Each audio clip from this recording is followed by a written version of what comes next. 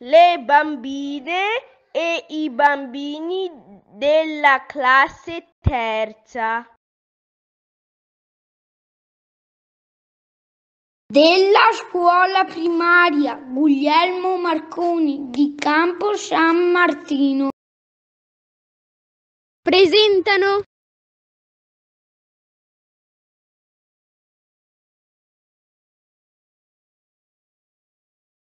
Noi, piccoli esploratori della memoria.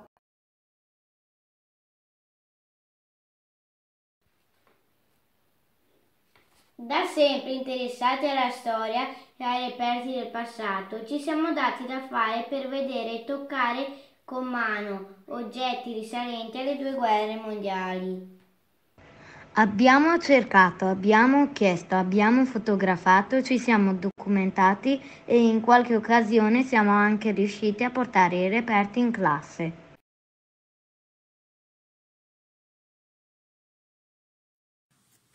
Questo cappello apparteneva al bersagliere Ettore Ceroni, nonno della nostra maestra. Ettore era nato a Carmignano di Brenta nel 1894 e ha combattuto durante la prima guerra mondiale. Il cappello da bersagliere si chiama vaira. Le piume sono di cappone nero e va portato inclinato sulle 23.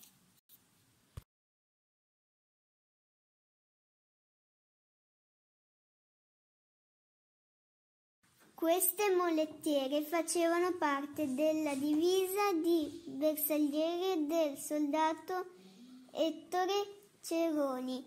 Ettore era nato a Carmignano di Brenta nel 1894 e ha combattuto durante la Prima Guerra Mondiale. Le molettiere andavano indossate sotto i pantaloni.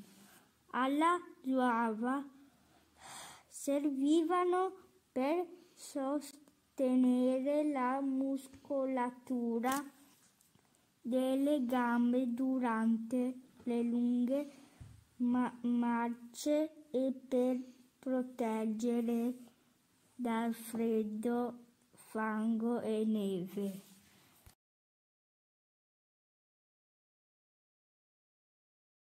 Queste sono le piassine in dotazione ai soldati della Prima Guerra Mondiale. Appartenevano a Virginio Mela, il bisnonno di mio papà, che era della classe 1882 ed era un fante del 228 Reggimento Fanteria, Brigata Rovigo. Le piastrine servivano per identificare soldati in caso di morte o di emergenza. Sono come delle scatoline in metallo con all'interno un foglietto ripiegato dove venivano riportati i dati del soldato come nome, cognome, data di nascita, famiglia di origine, reparto di appartenenza, vaccinazione ricevute e altri dati utili a riconoscere la persona che le portava.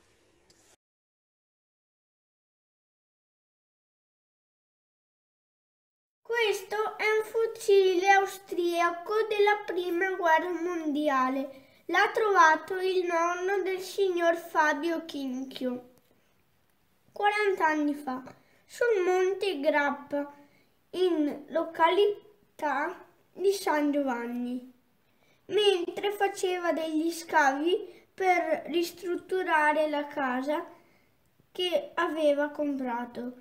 Durante la guerra quella casa era stata un ospedale da campo austriaco.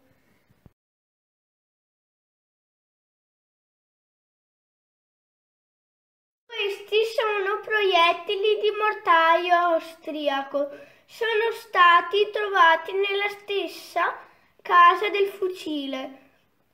Erano carichi e poi è stata tolta la polvere da sparo.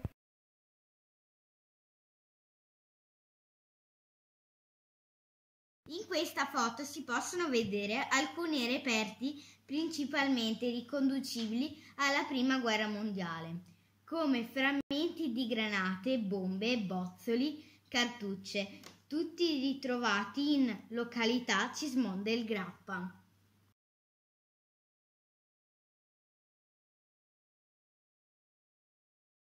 Questo è un pugnale appartenuto ad un soldato che ha combattuto nella Prima Guerra Mondiale sul Monte Grappa. È stato ritrovato nei pressi di Cismon del Grappa.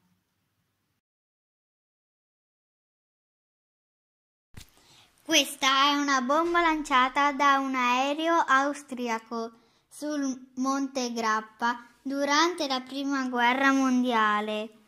Ora si trova nel giardino di mio nonno Giuseppe.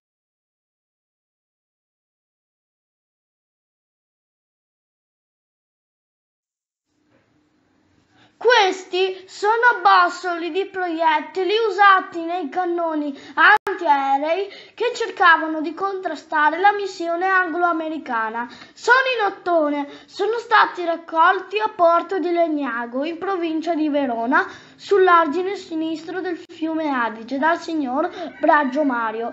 Dopo il bombardamento del 23 aprile 1945.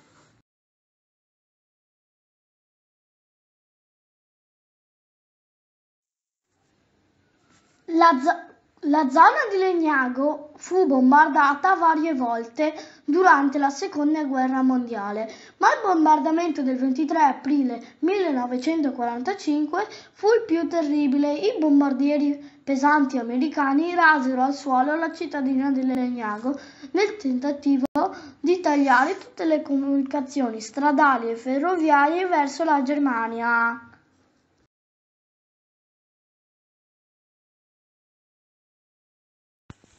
Questa è una placca del periodo della seconda guerra mondiale. È di metallo un po' in rilievo con delle lettere e dei numeri incisi. Serviva a mio nonno come lascia passare per entrare nel porto di Catania perché durante la guerra l'accesso non era consentito a tutti.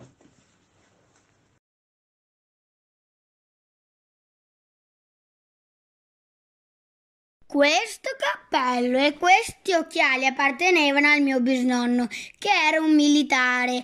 Facevano parte della sua divisa nel periodo in cui ha combattuto in Africa nel 1940.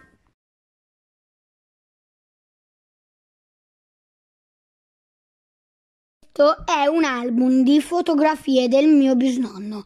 Contiene le foto di tutta la sua vita da militare dal 1935 fino al congedo. Ci sono tante foto del periodo della seconda guerra mondiale.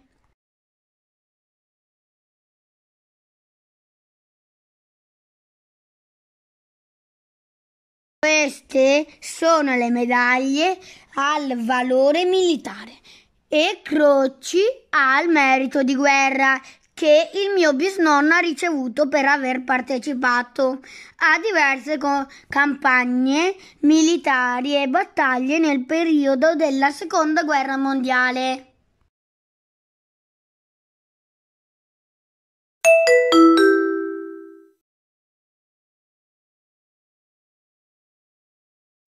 E la nostra ricerca continua.